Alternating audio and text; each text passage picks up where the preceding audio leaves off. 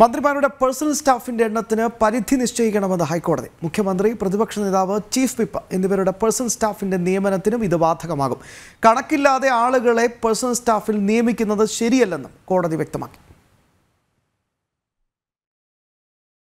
മന്ത്രിമാരുടെ personal staff നിയമന രീതിക്ക് മാനദണ്ഡം കൊണ്ടുവരണമെന്നായിരുന്നു ആന്റി കറപ്ഷൻ പീപ്പിൾ മൂവ്മെന്റ് അടക്കമുള്ള ഹർജിക്കാരുടെ ആവശ്യം.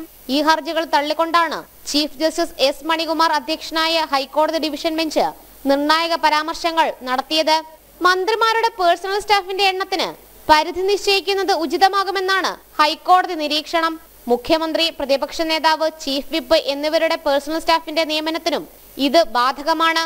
കണക്കില്ലാതെ ആളുകളെ പേഴ്സണൽ സ്റ്റാഫിൽ നിയമിക്കുന്നത് ശരിയല്ലെന്നും കോടതി നിരീക്ഷിച്ചു. എന്നാൽ പേഴ്സണൽ സ്റ്റാഫ് നിയമനം സർക്കാരിന്റെ നയപരമായ വിഷയമാണെന്ന വാദം കോടതി അംഗീകരിച്ചു. അതുകൊണ്ട് തന്നെ നിയമന വിഷയത്തിൽ ഇടപെടാനാവില്ലെന്നും ഡിവിഷൻ ബെഞ്ച് വ്യക്തമാക്കി. പേഴ്സണൽ സ്റ്റാഫ് അംഗങ്ങളെ പൂർണമായും സർക്കാർ സർവീസിൽ നിന്ന് ഡെപ്യൂട്ടേഷൻ വഴി നിയമിക്കണമെന്നുമായിരുന്നു ഹർജിയിലെ പ്രധാന ആവശ്യം.